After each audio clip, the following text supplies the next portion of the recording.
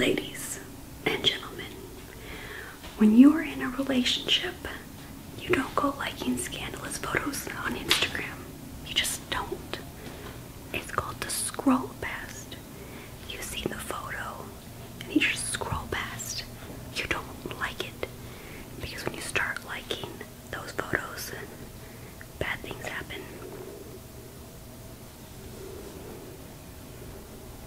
You should have known better.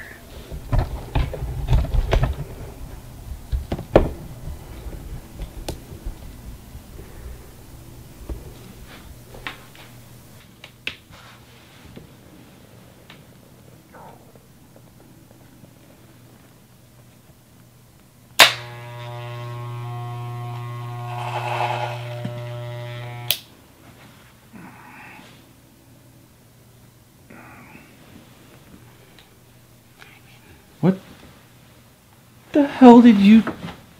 Are you? What fr- the hell did you do? Are you serious? Are do you think what kind, what kind of joke? You have to be out of your damn. What are you doing with the? You what are you doing with the pretty, camera?